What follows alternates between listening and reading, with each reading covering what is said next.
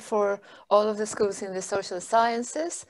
Um, and as just as, like Dermot, I do a lot of supporting of systematic reviews, people doing systematic reviews for their PhDs and for other things. But so, for the social sciences.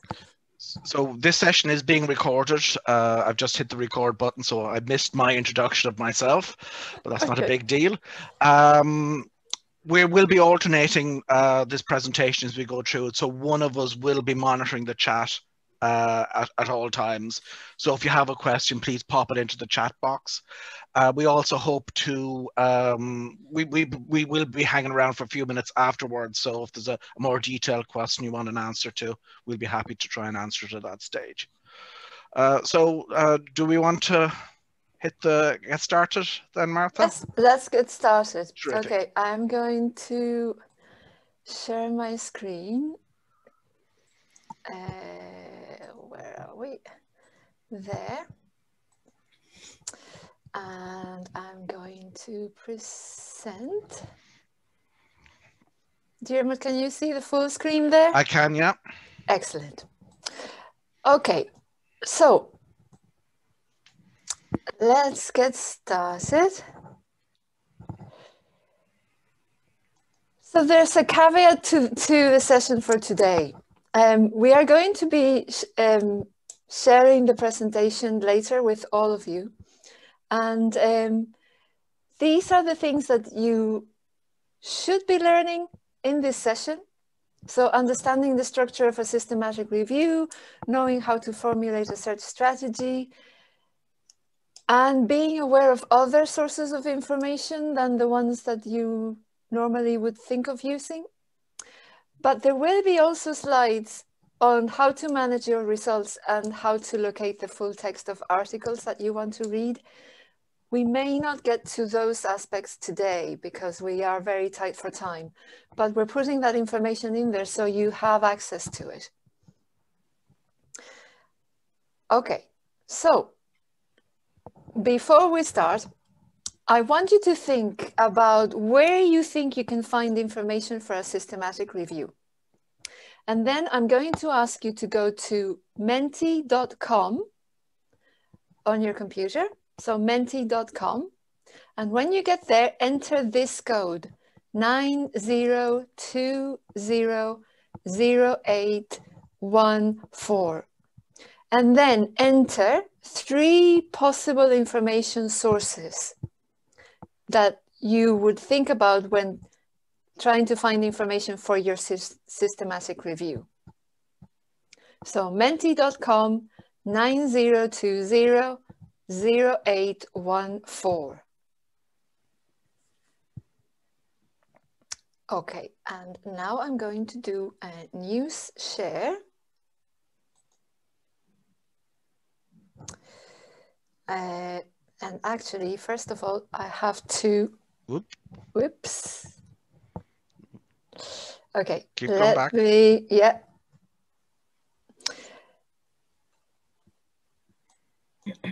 So let me go back to this. And let me show you what's coming up in that Google, uh, in that word cloud that we are creating.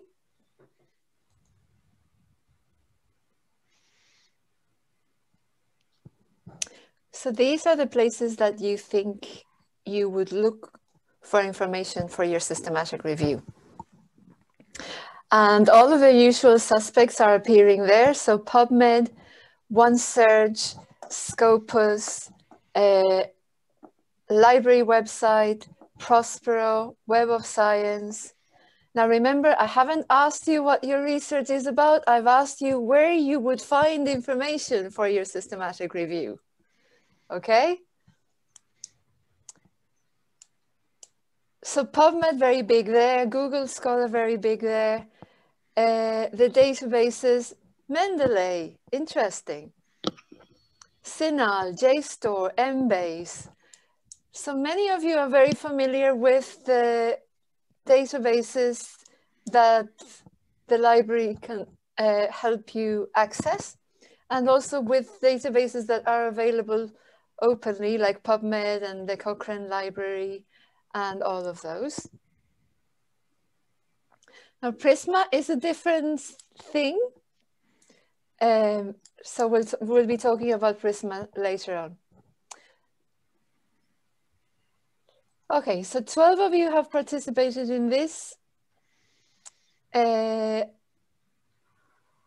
I don't think there's anybody else putting in information. So I'm going to go back to my presentation. Uh, but actually first I have to escape this, stop sharing for a minute and share the screen. Uh, okay.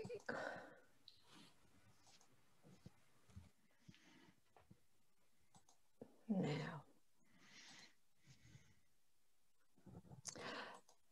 So there's one thing that none of you have mentioned, um, which is very important. And it's grey literature resources. So you can find information for your systematic review uh, in journals, in databases, but also grey literature. You can also do what's called snowballing, which is looking at the references in a journal article and then checking those to see what they are referencing and then checking those and you're building up your number of articles to review by doing this. You can also talk to an expert, particularly if it is the case that you are updating a systematic review that has been done before by someone else. That someone else will be able to point you in the direction of relevant articles. And then finally, you can also do manual searching. And this usually applies when you know that a particular journal title is really relevant to your research, but maybe we don't subscribe to it at UCD library. So you can still access the journal website and check individual journal issues for titles that might be relevant. Okay, so what is a systematic review? As its name says, the important thing about a systematic review is that it is systematic. So that it has a clearly stated set of objectives with predefined eligibility criteria for studies, that it has a reproducible methodology, and a systematic search so you don't search random keywords. You find a structured, systematic way of looking for keywords. Um, and then that you assess the validity of the studies, including the risk of bias. And some of you may be using specific measures to do this that have already been developed. And then that you do a systematic presentation and synthesis of the characteristics and findings of the included studies. So, there are many different types of review. A full systematic review can take years and it involves a team of people. In some areas of um, research, like for instance, public policy, you may be asked uh, by a government agency or by an NGO to carry out a review of the literature that has to happen in a very limited amount of time. And if that's the case, you may opt for a rapid review where you may be limiting the number of results by a specific framework of, of time or doing things that will allow you to do quite a systematic review, but in a quicker way. So before you start thinking about your review, think about your research topic, think about uh, your resources and your time frame, and that will help you choose which of these types of review you need to go for. Okay. So just to go a little bit deeper into the difference between a systematic review and an ordinary literature review. With a systematic review, you're focused on a single question usually, whereas with a literature review, uh, you may not have a specific question. Importantly, you should have a protocol for your systematic review. And a protocol is basically a plan for how you're going to conduct your review. And you register your protocol, it is peer reviewed, and it's out there to let other people know that you are carrying out a review on this particular topic and what are going to be the methods of your review. And then as I, I was saying earlier, you're, you provide a background for your review, but you have really clear objectives and you have specific criteria for including studies or for excluding them. And we'll explore those in a minute. And then you have a comprehensive search conducted in a systematic way. Whereas in an ordinary literature review, you may not explicitly state your strategy when you're publishing your review. Other aspects that you need to consider you have a comprehensive evaluation of the study quality. And very importantly, when you're selecting your articles, there is at least double screening, but sometimes it's even better to have three people screening the articles to be included. Uh, and then you have clear summaries of the studies. You take into account the quality of the evidence supplied in those studies.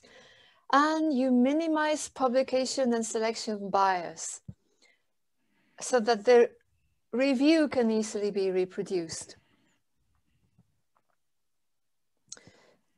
Okay, but, and this is something that you really have to take into account. It has to be a team. If you're on your own, you're not conducting a systematic review. You may be conducting a literature review in a systematic way, but it isn't a systematic review because if there's only one person screening the articles, it's virtually impossible to exclude selection bias because you're going to have a bias for what you want to include and what you want to exclude. And in order to counteract that, you need to have at least a second screener, if not a third one or even a fourth one. Okay? So, somebody mentioned Prisma in the sources of information for your systematic review. And Prisma is not exactly a source of information, but it is a really important list of items that you should include in the structure of your systematic review. So it helps you report systematic reviews on a very wide array of topics in a way that is transparent and it's complete and it's systematic and it is comprised of a checklist and a flowchart. And those two are links. So when we share the presentation, you will be able to click on those links and see the checklist and the flowchart.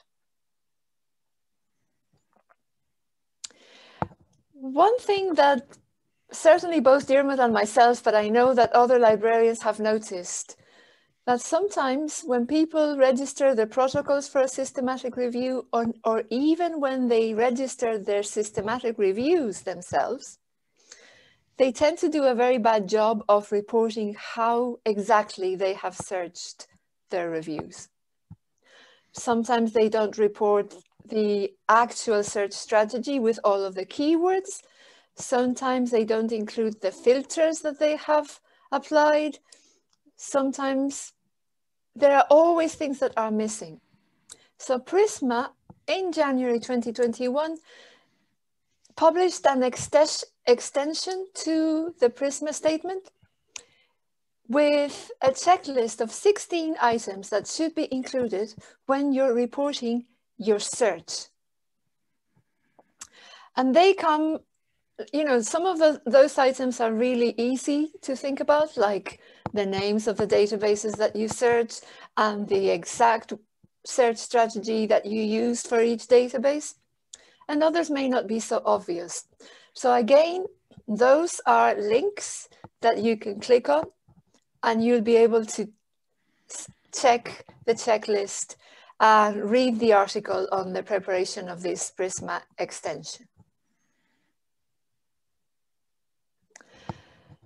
Now, there are two major uh, systematic review bodies. One is the Campbell Collaboration, which specializes in systematic reviews for more social science aspects like education and crime and things like that. And those are links to the specific expectations that a Campbell collaboration review uh, has for people who are registering their, registering reviews with them. So if you're thinking about doing a review in a social science re related topic and you want to register it with the Campbell collaboration, check these standards because if you don't follow those standards, it won't be approved for registration with Campbell. And then for health related reviews uh, and for science in general, uh, the Cochrane library, the, the Cochrane system is really important. And again, they have specific standards for intervention reviews that are listed in that link. Okay, so these are the main steps in a systematic review. And very importantly, get your question. Until you have a specific question that is well framed, it's going to be very difficult to go on to the next steps in your review. So get your question, then develop a protocol with inclusion and exclusion criteria, locate the relevant studies, select the relevant studies, assess the quality of those studies, and then extract the data. Analyze, summarize, and synthesize the relevant studies, interpret those results, and then publish them. Let me show you that in a more visually uh, clear flowchart. And this comes from Prisma. So you have your question, you do a really quick scoping search with minimal keywords, and that will give you a sense of how much is out there and of the things that you want to include and exclude. And once you have a sense of that, then you can develop your protocol. The protocol will establish exactly what you're going to do, and that will allow you to then develop your full search and carry it out, do title and abstract screening, full text retrieval, full text screening. Sometimes from the full text screening, you will have come up with new keywords that might be relevant and you can do additional searching. You agree on the included references and data extraction.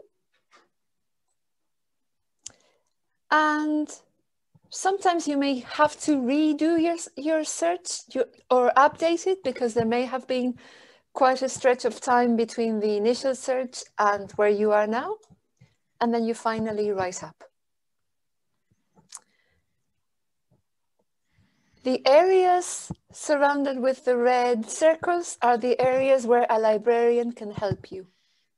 So we can help you with your scoping search. We can help you with your full search. We can help you retrieve the full text of articles that you're looking for. We can help you develop additional searching. And all throughout, we can help you with the references management because a really important part of carrying out a systematic review is managing your references effectively.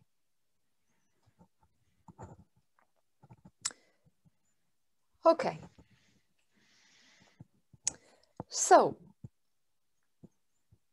how do you get your protocol?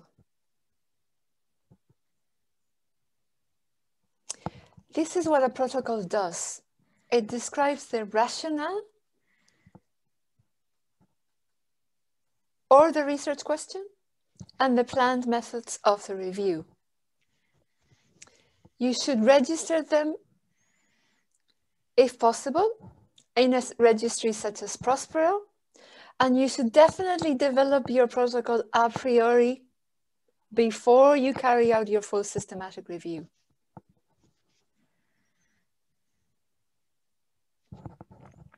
These are some of the inclusion and exclusion criteria that you may want to develop as part of your protocol. So you may exclude or include criteria according to the type of study. Like for instance, you may decide that you only want randomized controlled trials included in your selected types of studies. Or types of participants. If you're focusing on a specific population, defining their age, their gender or condition will allow you to say any articles that are not focused on this specific population will not be included in my review. Or you may want to exclude or include uh, uh, studies on the basis of the specific interventions that you're investigating. You may also want to consider whether to include interventions that are that have been carried out all over the world or just in Ireland. Very often, just focusing on the studies done in Ireland will not be sufficient for a systematic review. So that's a, something you need to consider. Or you may also want to include types of outcome measures. So are you looking at studies that include, say, changes in social project uh, uh, progress indicators, or changes in educational outcomes, or changes in quality of life, or in life expectancy, etc. So once you start, once you have done a scoping search, and you start looking at the set of results, and you start saying to yourself, oh no, that article doesn't uh, focus on what I want to include, then that will allow you to develop your set of inclusion and exclusion criteria. And that will then allow you to develop a full-blown protocol for your review.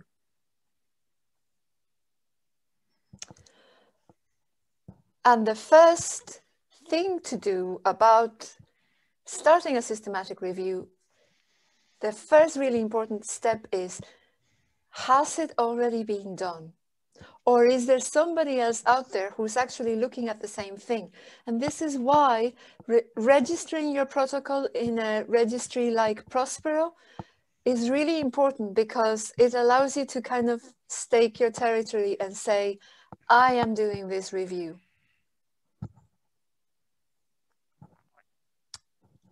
So, if you Search for studies. This will allow you to cover three main purposes. Verify that your question hasn't already been answered. Verify that there are no other review protocols registered with researchers who are already looking at the same questions but may not have published the review yet.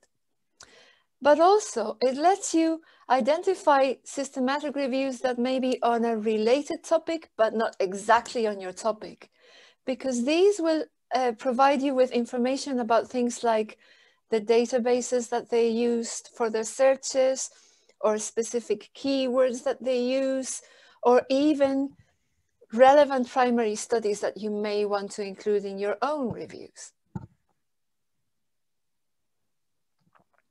Okay, so where do you look for systematic reviews? You look for them in places like the Cochrane collaboration or the Campbell Library or Prospero, which is the uh, registry of systematic review protocols, or some databases will allow you to filter results by type of publication. So for instance, PubMed is an example of one of those for health and PsycInfo is another such database for the social sciences. So once you have your systematic review quest research question, you can then try and see if any other systematic reviews on this topic have been carried out. Which leads me to selecting your sources. Where are you going to search the literature? You're going to use databases, but you're also going to use grey literature. And you're also going to do hand searching, as I mentioned before. So those are some of the databases that UCD Library can offer you access to. They are subscription databases so they are extremely expensive and you will not have access to most of them except for PubMed when you leave UCD. So make the most of them now. But for some specific research topics, there will be literature that has been put together which hasn't gone through the ordinary academic publishing cycle but that is still really relevant.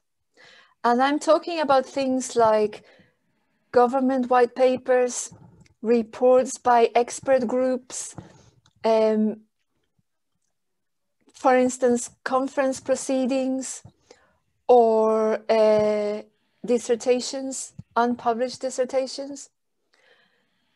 So all of those can be really important. And if you leave them up out, you may be missing some absolutely key information. There are some databases that, that gather some of that type of literature, like OpenGrey or BASE. But most of the times, what you need to do is identify the websites of the relevant organizations for your topic, and then go to them and search their publications sections or browse them. And then you do, you also need to include manual searches, as I said, for journals that are not contained in the databases that we subscribe to. Okay, so let's go for exercise one, which I'm hoping you will all be able to do.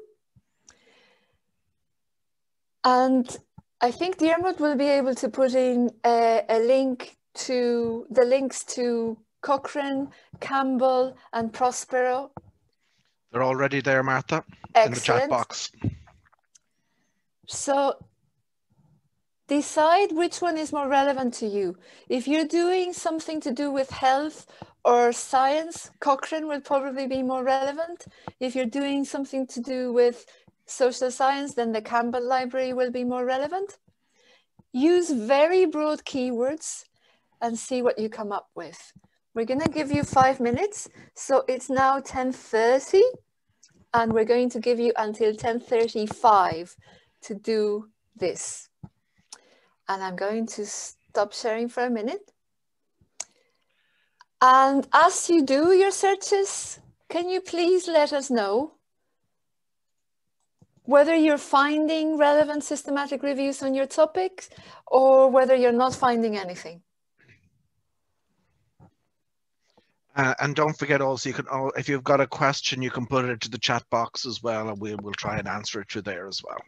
Absolutely.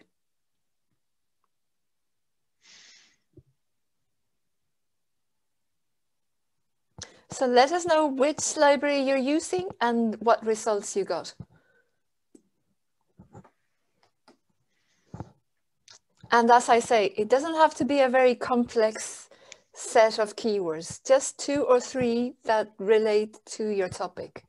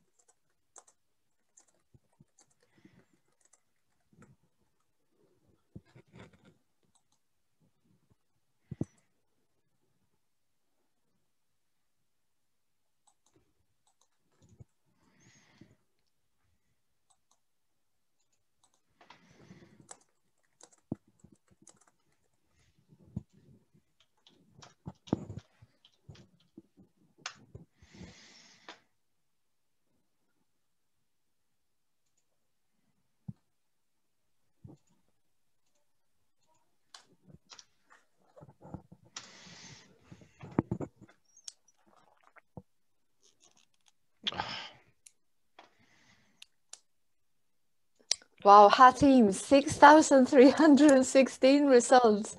Uh, that's probably one of those cases where you need to refine your search to come up with something more focused. And um, Alicia, you were searching for tumors with uh, uh, an asterisk at the end of it as a wildcard. If you get rid of that, you should find 409 in the Cochrane library.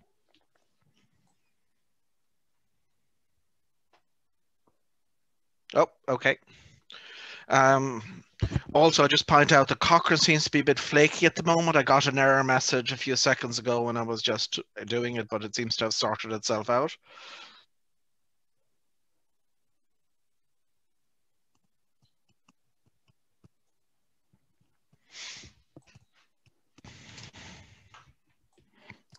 Okay.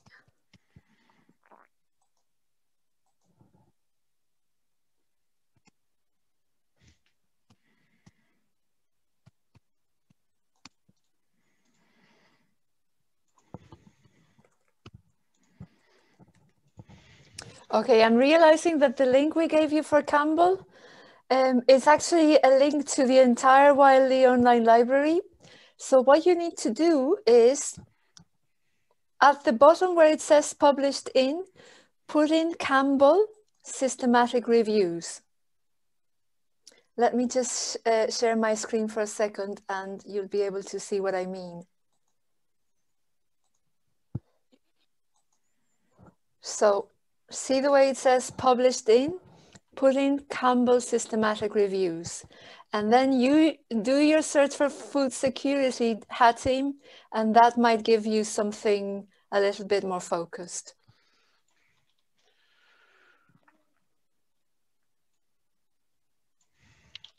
And okay.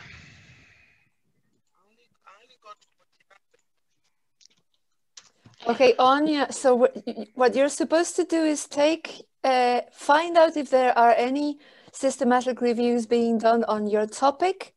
So if your topic is on this something to do with social sciences, click on the link to the Campbell library. And if your topic is something to do with health or science, click on the Cochrane library.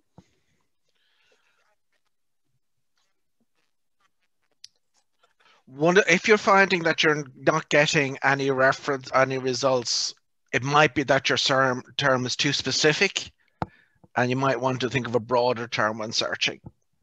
And remember this is you you will find that this is an iterative process. You will get so far and then you will find more information and your search will develop. It's not something that is settled in 15 minutes or half an hour. Developing your search takes time and it takes effort. And once again, because this is a team, involve the team in doing this uh, to make sure that you're not missing something that um, that maybe become obvious when a when a fresh pair of eyes uh, comes onto it. So we we continue on, Martha. Yeah, let's do that. Do you want to go on? Yeah, perfect. Yep. Thank you. So you can try all this yourselves after the session. This is all part of the of the process.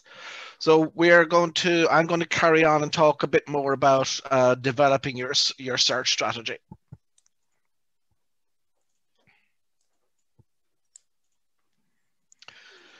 Okay. No, wrong one. Sorry, excuse me. Where's my browser gone? There we, there we go. Okay. Okay. So at this stage, we've talked about your uh, developing your um, protocol. And as part of your protocol, as Martha said, you will be developing or, or demonstrating uh, an example of a search that you're going to develop. Uh, and to help you develop your search, there are a couple of tools that you can use. Some of you may know some of them already uh, from previous uh, research that you've done, but they give you a structure for looking at your question. So when you're starting off, as Martha said, you need to have a well-defined question. Uh, the question should uh, review should specify the type of population, who are the who are the participants, any type of interventions and comparisons if, if, if possible, and also the type of outcomes that are of interest. And as I said, there are a number of acronyms that you can use to help you with that. Um, and systematic reviews started in initially in in the health field and have spread out beyond to social sciences and other areas as well. And PICO is probably the one that is most uh, popular or, or, most well known. Uh, and PICO stands for Patient Intervention Comparison and Outcome. So when you look at your research question, what are the characteristics of the patient or, or, or population? Or what is the condition or disease you're interested in, i.e., um, cancer patients? What's the intervention or exposure? What do you want to do with this patient? Do you want to treat them, diagnose, or observe? So, do you want to do chemotherapy? Uh, what's the alternative to the intervention? Is it radiotherapy? And then, what is the outcome? Uh, is it death, complications, quality of life, etc.? There are other alternatives to PICO. PEO, for example, is used for reviewing qualitative research, and the P this time stands for the population and the problem. There's the condition, uh, social, economic status, the age, gender, ethnicity, exposure. Uh, so this would be risk factors, protective factors, uh, program intervention uh, or service, outcome or themes, experiences, attitudes, feelings, changings of uh, of, uh, of living conditions, education outcomes, social mobility, etc. SPIDER is also used for qualitative evidence synthesis, and the S stands for sample. PI is the phenomenon of interest, reasons for the behavior, uh, and uh, the D is for design, the data collection method used. Is it an interview, a focus group? E is for evaluation, so outcome measures, educational outcomes, etc. And the R is research type, qualitative, quantitative, mixed methods. SPICE is for qualitative evidence synthesis. S is for setting, where, in what context. P is perspective for whom. The I is intervention or the phenomenon of interest. C is comparison. What else are you comparing it to? E is for evaluation. How well, what result. Um, so Pico is, is the most uh, commonly used one in health, but it's really important that you do pick the most relevant and appropriate one for the question uh, that you're that you're trying to answer. And this will allow you then to build up an effective search strategy. It gives you a structure to start thinking of alternative keywords that you can use when searching for the, on this topic.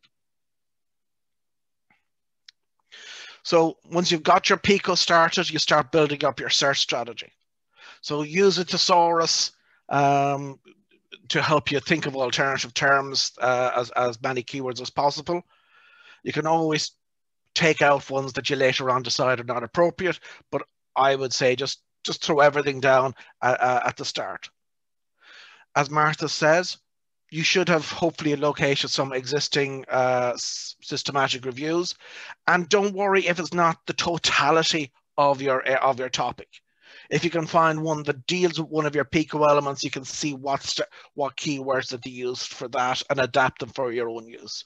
Check and see if you can find any articles on your topic. You may have discovered these in your scoping review uh, and that the articles that are really, that you think are really, really relevant.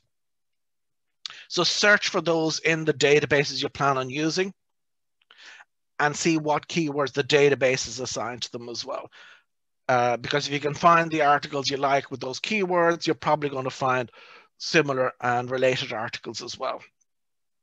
And this can help throw up more keywords that you weren't aware of.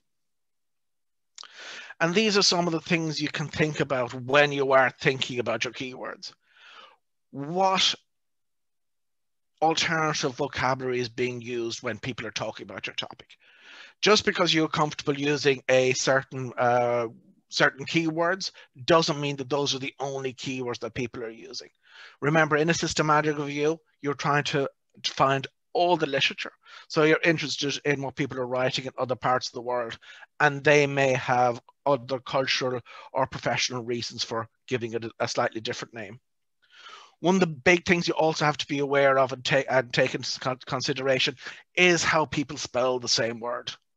So this could be American and Irish spelling of words, but it could also be medical uh, English as well. So words like color can be spelled slightly differently, or pediatric can also spell slightly differently depending on your context. And while the databases are very, very powerful, they're also very literal. So if you tell the database to ser search for color with a U, there's no guarantee that it's going to it's going to think to search for color without you. You have to explicitly tell the database to do that. You could also find yourself searching for loads of similar words that have the same root but different endings. You can very easily tell the database to search from a common root. Uh, the example here we have the screen is child with an asterisk, and the asterisk represents all the potential endings. So you can tell the database to search for all potential endings without you having to type them all in. You might be searching for abbreviations. Uh, so if you're searching for abbreviations, you search for the full version as well. So if you're searching for University College Dublin, you might also search for UCD. If there's specific examples or cases, make sure you put them in. Um, are there more general terms or broader terms? So if you're finding nothing, with the specific terms that you're coming in. It could be because they're too specific and you might want to get a broader term. And you also need to be aware of there are certain categories that you want to exclude and uh, put those into your search strategy as well to get rid of them. So all the information that you've gathered from your scoping search, from reading existing systematic reviews and articles that have been published, will help you develop your search strategy decide whether you're going to use Pico, Pio, Spider, etc. to start developing your keywords. It's best to avoid having too many concepts, but to have as many keywords as is necessary to search uh, each, each concept thoroughly. So don't be put off or don't be put out and think, oh, I've got too many keywords for these for this concept. If you think they're all relevant, then that's fine. And where another where another way in that uh, your search strategy for a systematic review differs from that of a ordinary literature review is that you won't be just using keywords. So as well as using your keywords or free text words, you'll also be using thesaurus or subject terms. So those of you who've used PubMed will be using MESH, um, CINAHL uses CINAHL headings in health. Uh, PsycInfo has a thesaurus, and um, a lot of the academic databases will have a thesaurus. And you'll need to map your keywords to the thesaurus um, as you go from database to database. And you may find as you go from database to database, because they are focused on doing different things, they may throw up new keywords that you're not familiar with. So any new keywords, you have to integrate them back into your search strategy as well. So we're going to do a bit of an example. So we've got a very simple research question here. And the question we're asking, is chemotherapy more efficient than surgery in managing stage one breast cancer for women patients? So I applied, I applied PICO to this. My population is breast cancer. My intervention is chemotherapy. The comparison in this case is surgery and our outcome is reduced mortality. So if this was a systematic review that I was doing, my next step would be to think of all the possible ways of describing each of those uh, PICO elements. So alternative terms for breast cancer, alternative terms for chemotherapy, surgery, mortality, etc. So this is where we're going to throw it up to you. We're going to give you uh, just for a few minutes. So if you want to, I'm going to stop sharing. And if you want to put into the chat box any possible terms that you might initially for breast cancer.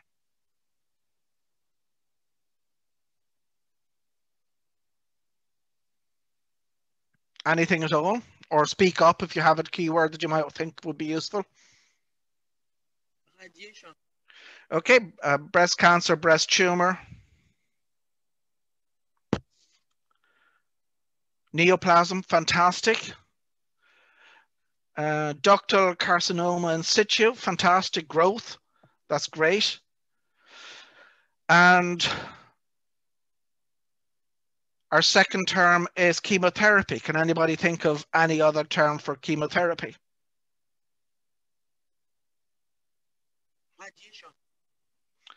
I'm, I'm, I'm sorry, I can, I can hear somebody very faintly, but I, I can't hear them fully.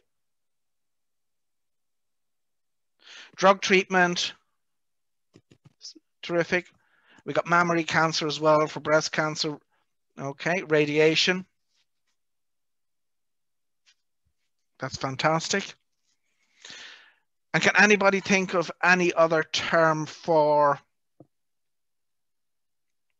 uh, surgery, which I think is our third concept? Operation, thank you. Resection, great. Mastectomy, terrific. Lumpectomy, terrific.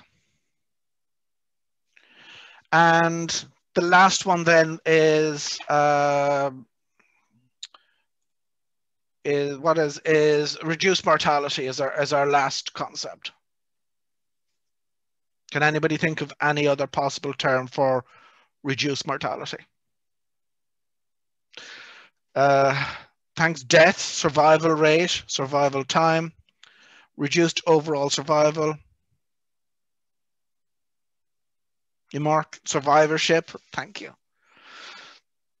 Reduced recurrence, free survival, uh, progression free. Like we're getting so many terms here. It's fantastic, and this is what's the great thing about having the team. Uh, an individual might have run out of inspiration a long time ago, uh, but the uh, the the hive mind always comes true fantastic. So I didn't get anywhere near as as, as near the, uh, all those terms. Uh, let me just. Okay, so this is with the additional one. So I came up with breast neoplasms, breast tumors, and don't forget breast tumors can be spelled slightly differently, so you need to allow for that. Chemotherapy, drug therapy, drug treatment, surgery, uh, operation, lumpectomy, mastectomy, uh, reduce mortality, mortality rate. And now we're starting to build up our search strategy. So this is how I start building up my search strategy. So whatever uh, structure that you're using, whether it's PICO, PCC, PO, etc., start using that as the structure for building up your search. And this is my first draft of my search strategy. I've laid out in a, I would have laid this out in a Word document. So I've got breast cancer under P or patient, uh, breast neoplasms or breast tumors, chemotherapy under intervention or drug therapy, uh, and C surgery or operation. And my outcome was reduced mortality or mortality rate. And I would have put in all those extra ones that people had come up with as well. Um, uh, but obviously we don't have time to do it here uh, at, at the moment.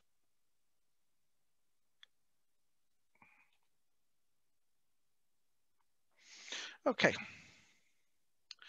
So once you've got your search strategy, your, your, your, your structure, you need to start thinking about your search strategy. How are you going to bundle these together so that you can run your search as effectively and as thoroughly as possible? And it's really important that you document everything. So there, when you go into the Prisma um, check, uh, the Prisma checklist, you'll see there is a load of information that they're expecting you to, to report on.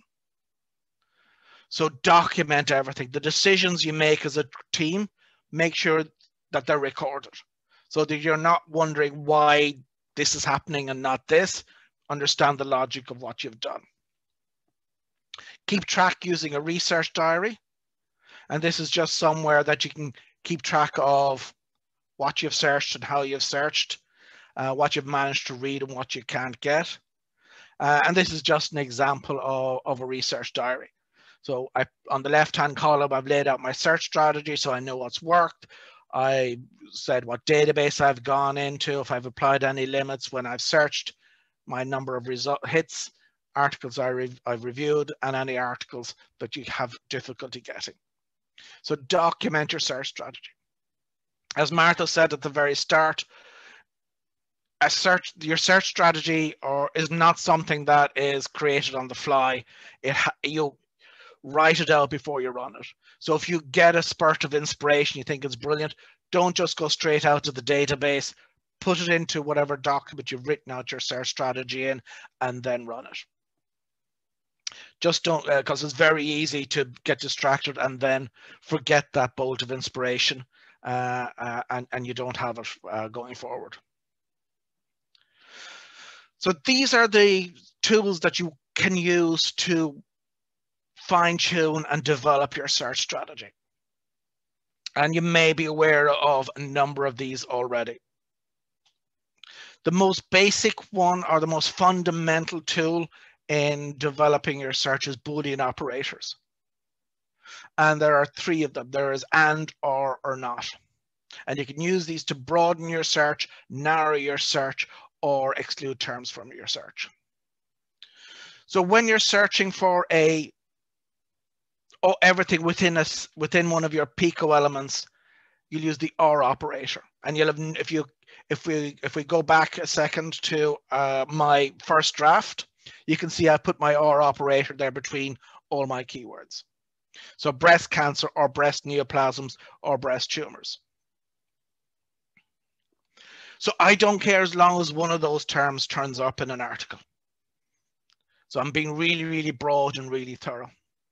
When I'm combining my Pico elements, I can use the AND operator, autism and child. And that will give you the little bit in the center there where those circles overlap. So it's being allowing you to narrow down your search and focus in. And the last one is the not operator.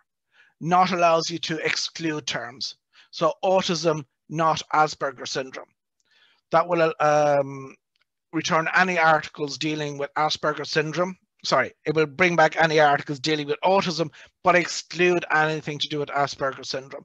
Even the little bit in the center there where they both overlap is going to be excluded because you said you don't want to see anything to do with um, Asperger syndrome. And just to say, this is the most basic fundamental building block. And if you get this right, uh, you're well on your way. Phrase searching is important. You need to tell the databases when you're searching for a phrase. And a phrase is two or more words that you want to appear together in a particular order. So at academic achievement or school-based, uh, those are phrases if you didn't put the quest the quotation marks around them, there is the possibility that database will do an and search. So academic and achievement, which is not as precise as acad academic achievement as a phrase. So being more precise allows you to narrow your search. Because remember, at the end of the day, you will have to screen all your results. So the more focused you are, the less articles you will have to, to screen. Another tool similar to phrase searching is proximity searching. And in this, you are more concerned with how close words are together rather than having them together in a particular order.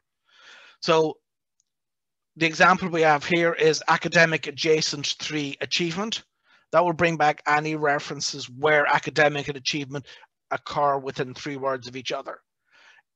But you don't care which comes first.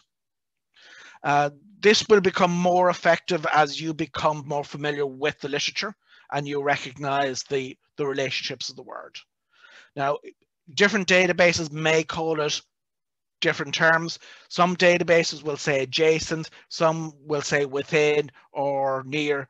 So go into the database to check what exactly you will have to do. So, and it's worth pointing out that you will have to adjust your search as you go from database to database to uh, compensate for things like adjacent uh, and uh, the other things which will be carrying, uh, which we will be re referring to in a minute. So you can't just copy your search from one database to the other. There is fine tuning as you go from one to the other. Truncation allows you to search for all possible endings of a word that have a common root or stem. So the example here we have is educate with the uh, asterisk after the T, and that will get you educate, educates, educates, educated, education, educational, educationally, and it'll just keep going on and on and on until it's run out of all endings. But you have just to concern yourself with getting the first bit of it right. The database will automatically get all possible endings. You do need to also, as I said earlier on, look out for alternative spellings of the same word. Color or color, center or center, pediatric or pediatric. Remember the database is not necessarily going to search for the version you, ha you haven't typed in. So you can take out the letter that differs. The example we have here is color with the question mark where the U should be as we spell it. And that will search for color with the U and color without a U. Now, once again, this is one other of the things that you will have to check as you go from database to database. Not all databases will use a question mark when they're looking for alternative spellings. Not all databases will use the asterisk when they're using truncation. So go to the help pages of the databases and they'll tell you exactly what symbol you should be using and how to use it. You can also use the, the fact that the databases have highly structured records. And uh, one of the most invaluable in this from a systematic viewpoint of view is limiting your search results to title and abstract. You may find that when you're just searching with keywords everywhere, you're finding loads of what uh, are irrelevant articles. So you can try and ramp up the um, the relevance by recognizing which words you need you need to appear in the title or abstract of your results and then telling the database to search for those. So there's drop down menus that you can use to, to signify that when you're building up your search. Uh, uh, to, to, to once again raise the relevance of what you find and also reduce the numbers that, that come back as well. Because once again, you will have to screen everything that you get in your search results. So this is where we get so far. I've now, based upon what we've covered, I have adapted my search. I have put my um, truncation searching for breast cancer or breast cancer or breast cancers, breast neoplasm or neoplasms, breast tumor or breast tumors, uh, drug therapy or drug therapies, operation or operations, etc. I've also identified the phrases and I put more quotation marks around it.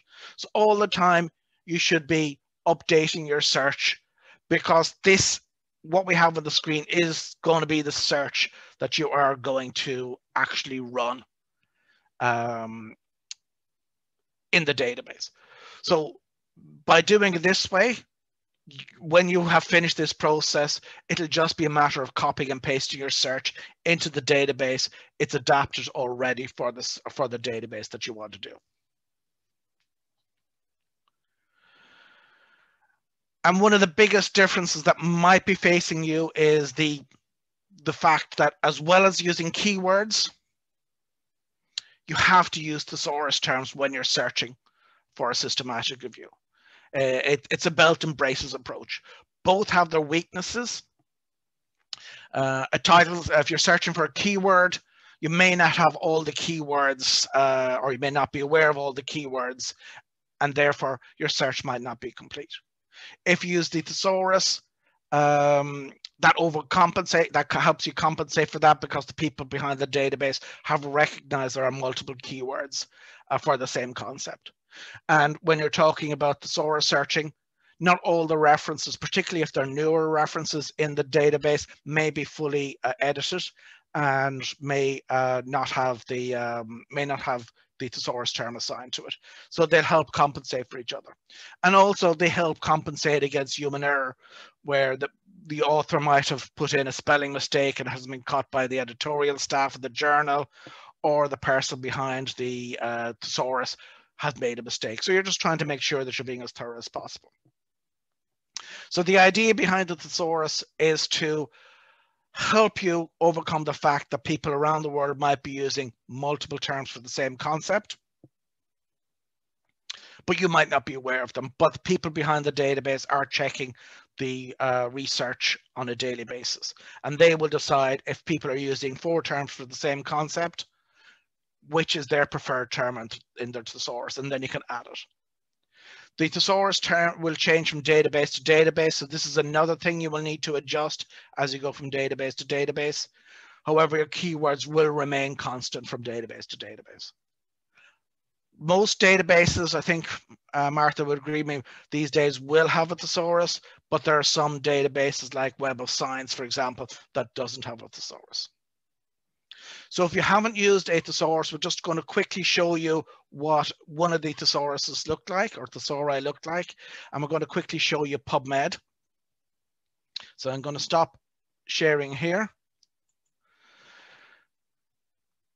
And I will uh, share again. Um, and we go out to PubMed. Oops, go away.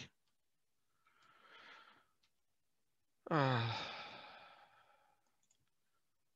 okay, so if we go to PubMed,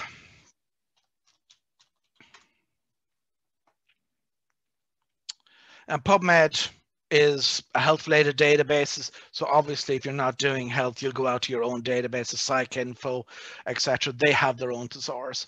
And in many cases, you'll find the thesaurus in the advanced search part of the database.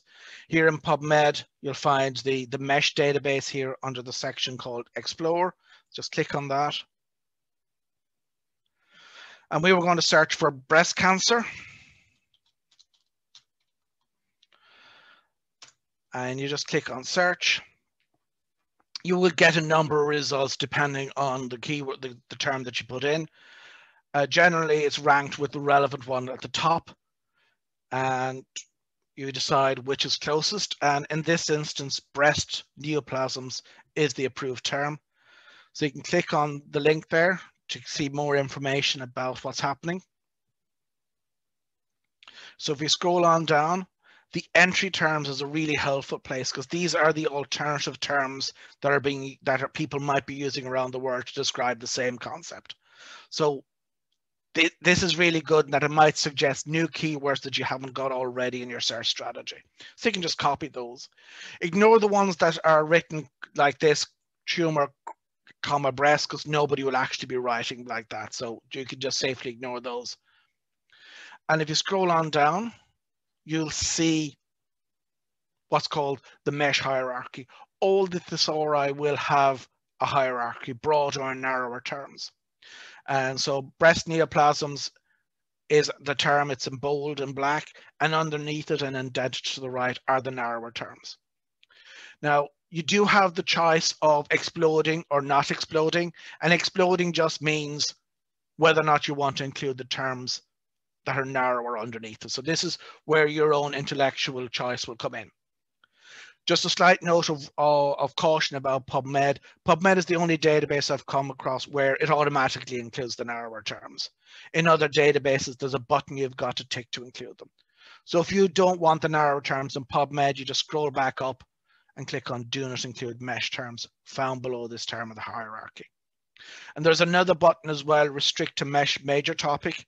And this relates to how much content on this article that you want to, on this topic you want to see. Any little mention, leave it alone. But if you think, no, breast tumor has to be a major part of every article that's returned, you can tick the box. So you make your choices. And then at the very top, that term, uh, uh, whoops, that's a previous one. You need to click on the add to search builder. And then you can copy that and add that to your search strategy that you've built up already. And you need to do that for each keyword that you've discovered in your that in your search strategy one at a time. So if you had other terms for breast breast cancer, you check all of those. Uh, if you've got uh, for chemotherapy, all the terms for chemotherapy. My advice would be do each one at a time so that you don't mix them up and keep everything within the proper Pico element. So if I go back to the presentation and I share again, this is now the search that I've developed.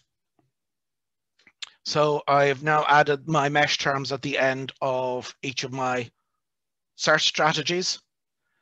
And then I can just copy each of the, each of those uh, search uh, strings into my database. Another bit of advice I think uh, I should pass on is that when you're running your search, do each of those search strategies or search strings one at a time. So do your patient search strategy first, do your uh, intervention, you do your comparison and do your outcome. Don't look at the results because you're not interested because they all represent, in this case, one quarter of your topic. You can use the search history in the database to combine them, and that's when you're interested uh, because that's where all your search strings come together. So I'm going to stop sharing and this is where some people usually come together, come with some questions, um, uh, particularly about uh, the thesaurus. So does anybody have any questions about that?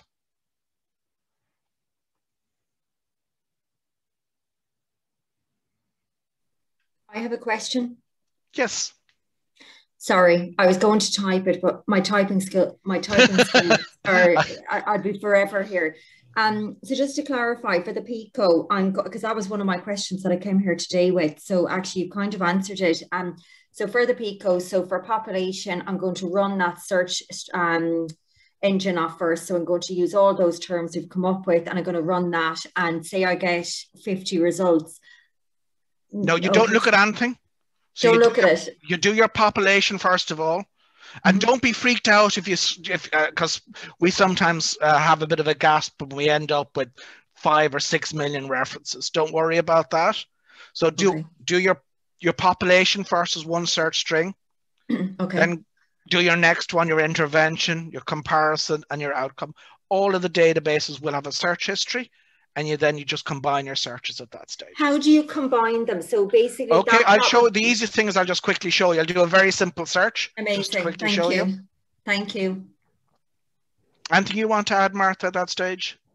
No, exactly the same as you say. Uh, don't worry if you get millions of results for one of your PICO or SPICE or PEO elements, because once you combine them all, then you will get much reduced numbers.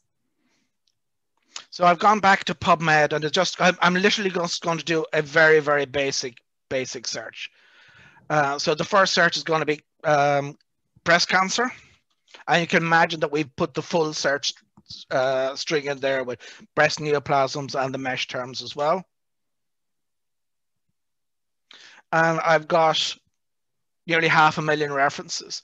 Um, the next one is uh, chemotherapy. Mm -hmm. And once again, not looking at any of the results, I don't care. So we have 3.4 million references. The next is surgery.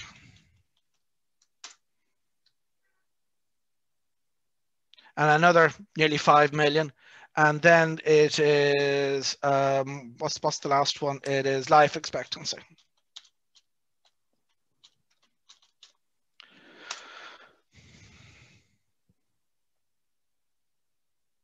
And we have 43,000. Always, I'm always cautious when numbers are low because it gives you a limited amount of overlap. And you see under the advanced and under the search box there's an advanced link. Just click it there.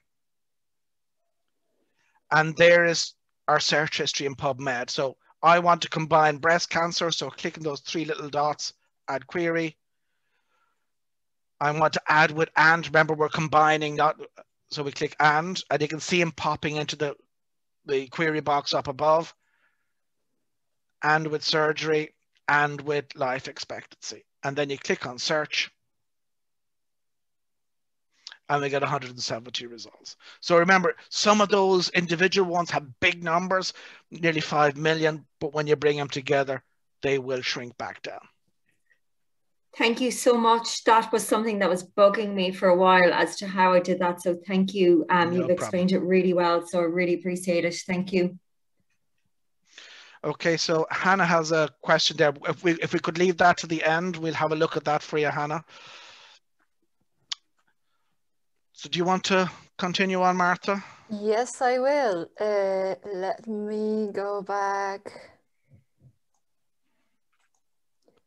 Okay, so let me share my screen.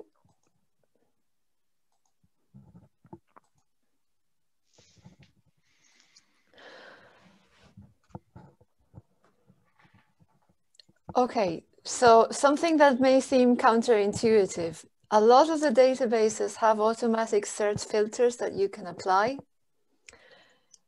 But for a systematic review, if you apply those search filters, sometimes there may be human error in those filters. So there's no absolute guarantee that the filter will bring you everything that is supposed to be there. So to counter that, um, there are groups of librarians that have developed specific filters for specific types of categories. So for instance, for PubMed, there's already a specific filter for randomized controlled trials. Um, there are several different ones. And many of these kind of handmade filters that are approved for systematic reviews exist uh, in this InterTASC, InterTASC information specialist subgroup search filter. So I would recommend that you have a look at those. Um, I found an article about developing a systematic review filter for PsycInfo in ProQuest. So if any of you are using PsycInfo and doing a systematic review, then that might be of interest to you. Okay, and then let's talk about the other types of literature that you should be including in your systematic reviews. So these are materials produced by organizations outside the traditional academic publishing. So they could be annual reports, technical reports, project reports, research reports, they could be government documents. So for instance, the Library of the Oireachtas has a fantastic um, resource where you can access those, working papers, white papers, evaluations, etc. Um, there could be theses or dissertations. And there could be also conference papers. And there are certain disciplines in which conference papers are the major way of disseminating your research. And I'm thinking, for instance, of computer science. Um, so those must be added if you want to be able to call your review a systematic review because the systematic review aims to cover every possible source of information on your topic.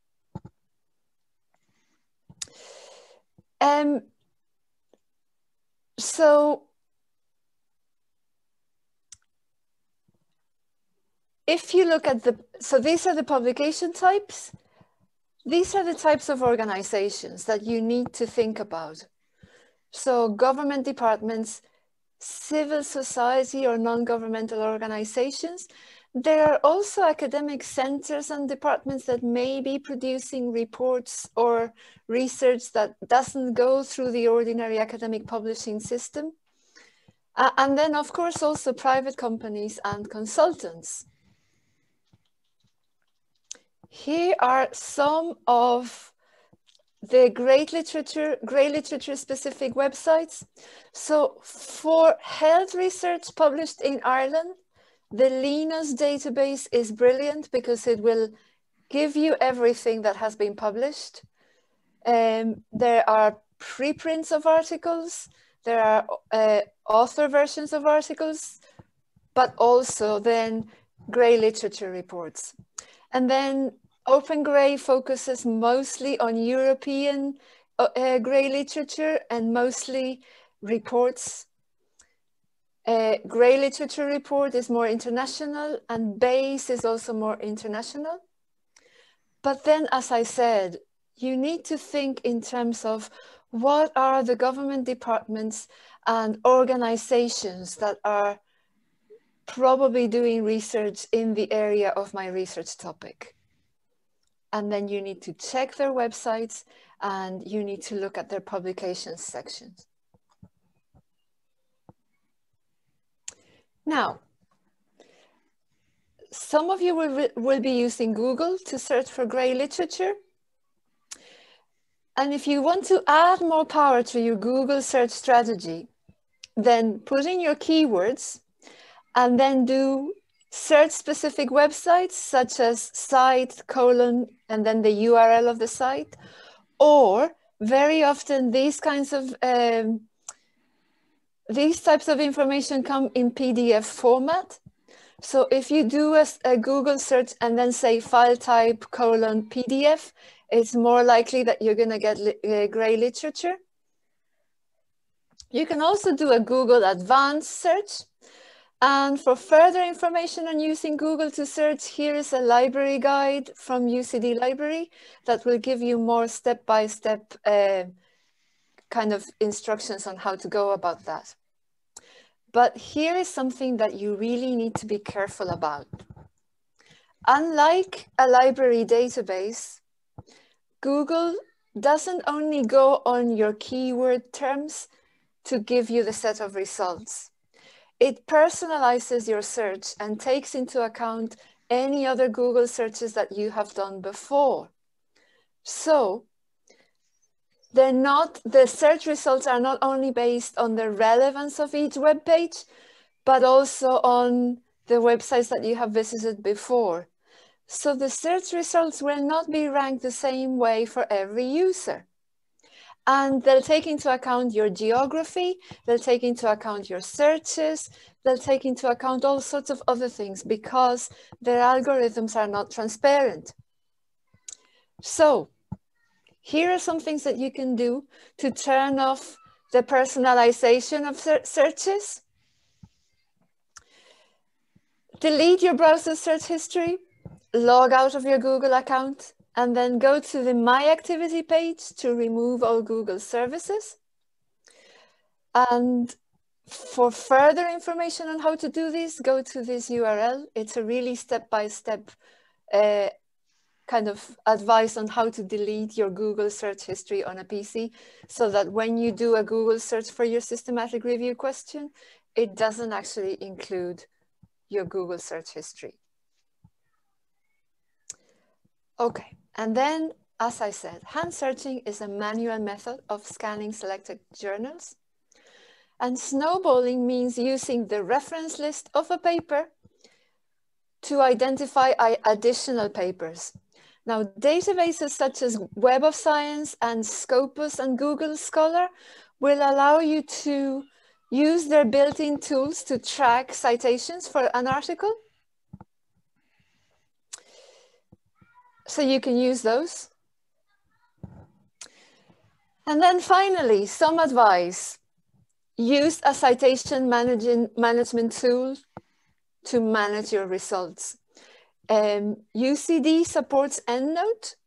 So you can actually go to the IT website and under downloads, find EndNote desktop and download it to your computer. And Diarmuid here runs clinics on how to use EndNote for your research.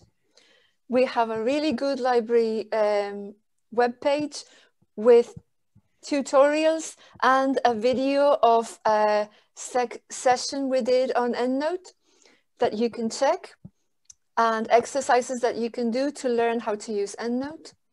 If you're using any of the other ones like Zotero or Mendeley, UCD doesn't have specific support for that, but some of us have some expertise in those. So for instance, if you're using Zotero, I can answer questions on that. Um, I'm not so familiar with Mendeley, but I, I can give it a, a try. So um, one thing that's really important when you're using um, your citation managers is that if you're removing duplicates, you're careful of how to do it. So authors' names, for instance, may be displayed differently as you move from database to database. And you may have the same paper under what looks like two different authors, when in fact it's just the same author, but the name is displayed in a different way. Okay, these are some types of software that are used for systematic review. Covidence, Distiller SR and Rayyan. Both Covidence and Distiller SR have uh, subscriptions to them. And I know that some schools in UCD actually have a school-wide subscription to some of them. So for instance, in psychology, you have a subscription to Covidence, and I know there are other schools that have it too. So you just have to find out whether your school has a subscription to any of these. If they don't, then Rayyan is a free online tool. It's not quite as effective in some ways as Covidence and Covidence and Distiller SR, but it will still allow you to manage your systematic review in quite a good way. And if you have questions about how to use Rayyan, both Dermot and myself can help you with that because we are very familiar with it. And finally, this is a link to a infographic that we have created on the steps that you need to follow to get to the full text of articles. Some of the articles UCD will have access to it via our subscriptions and others we may not, but there may be other ways in which we can help you get the full text of the article. So there's the link to the infographic. And finally, there's our systematic review guide, which has a lot of information, guides and manuals, information on how to prepare for a systematic review and how to search, and also how to manage your search results with EndNote. And I'm going